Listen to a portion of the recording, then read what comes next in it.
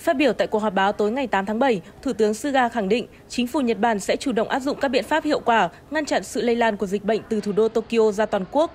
Ông nhấn mạnh ý nghĩa của Thế vận hội Olympic và Paralympic với thông điệp rằng loài người bằng nỗ lực và trí tuệ của mình sẽ vượt qua bất kỳ khó khăn thử thách nào. Ông cho biết mong muốn của chính phủ là hiện thực hóa một giải đấu mang tính lịch sử, từ đó nuôi dưỡng ước mơ và niềm hy vọng cho thế hệ trẻ Nhật Bản. Thủ tướng Suga cũng lấy làm tiếc khi buộc phải ban bố tình trạng khẩn cấp đối với Tokyo chỉ 3 tuần sau khi dỡ bỏ. Nhưng ông tin rằng quyết định này sẽ mang lại cảm giác yên tâm cho người dân để vượt qua giai đoạn khó khăn này. Ông nhấn mạnh điều quan trọng nhất để kiềm chế dịch lây lan trong thời gian diễn ra Thế vận hội là hạn chế tối đa dòng người di chuyển, nhất là tại Tokyo, và ngăn chặn hiệu quả sự xâm nhập của virus SARS-CoV-2 từ bên ngoài.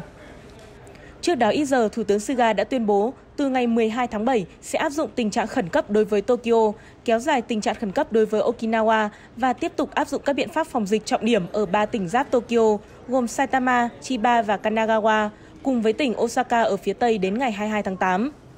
Tuy nhiên, các biện pháp phòng dịch trọng điểm sẽ được dỡ bỏ tại 5 tỉnh khác, gồm Hokkaido, Aichi, Kyoto, Hyogo và Fukuoka, theo đúng kế hoạch vào ngày 11 tháng 7.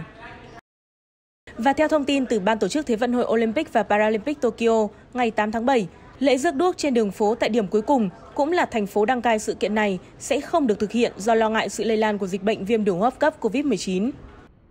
Ngày 8 tháng 7, Bộ trưởng Olympic và Paralympic Nhật Bản Tamayo Marukawa thông báo các sự kiện thi đấu Olympic ở thủ đô Tokyo và ba tỉnh lân cận là Chiba, Kanagawa và Saitama sẽ diễn ra mà không có khán giả. Ban tổ chức đưa ra quyết định chưa từng có tiền lệ này chỉ 2 tuần trước khi sự kiện thể thao trọng đại toàn cầu này chính thức được khai mạc.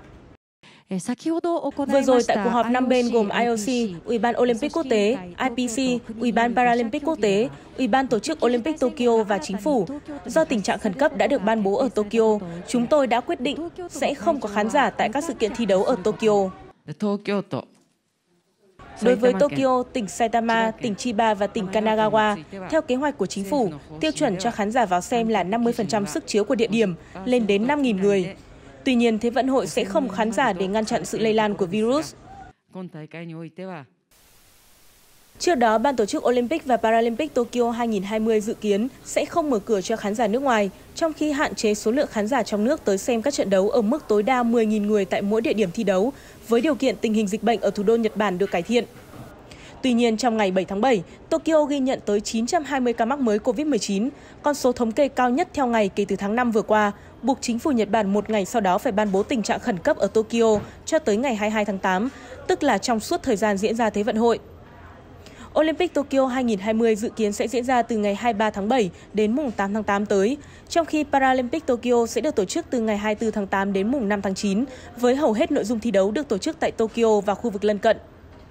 Theo ban tổ chức, sẽ có khoảng 15.000 vận động viên và khoảng 78.000 quan chức, nhân viên của các đoàn thể thao từ khắp nơi trên thế giới tham gia các sự kiện thể thao này.